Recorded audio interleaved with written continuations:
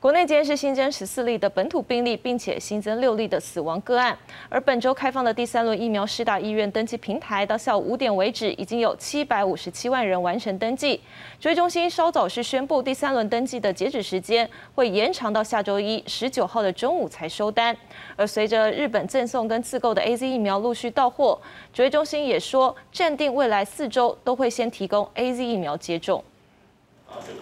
新冠本土疫情周四十五号新增十四例本土病例，个案分布以台北市九例最多，其次为桃园市三例，新北市两例。而这也是三级警戒以来单日新增病例数新低纪录。现在目前啊解除隔离的已经到一万啊两千零八十三位哈，那百分比是八十五点七，那持续是呈现这个去啊病例。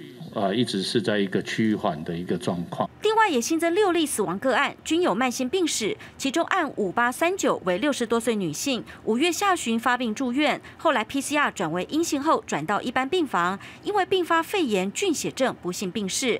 案七八六五为七十多岁女性，五月中旬发病住院，七月十三号不治死亡。这两人都是没有接触史而染疫，属于感染源不明个案。两位都是双北地区的民众了哈，那确实没有找到他跟某一个群聚或某一个呃特殊的事件有所关联哈，所以研判都还是社区感染。而本周起展开第三轮疫苗施打意愿登记系统，扩大让十八岁以上民众上网登录。到周四十五号下午五点为止，共有七百五十七万多人完成登记。只选莫德纳者占百分之五十五，选 A Z 者占百分之二点五，选择 A Z 及莫德纳皆可接受者有百分之四十二点三。指挥中心表示，未来四周暂定先提供 A Z 疫苗接种。暂定。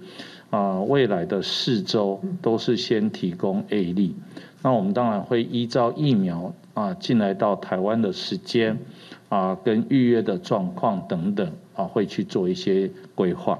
由于疫情趋缓，外界关心七月二十六号能否从三级警戒降级。陈宗彦强调，还要观察相关措施是否顺利执行，相关场馆是否落实防疫计划，这都会影响整体评估。记者拉什米秋福才特报道。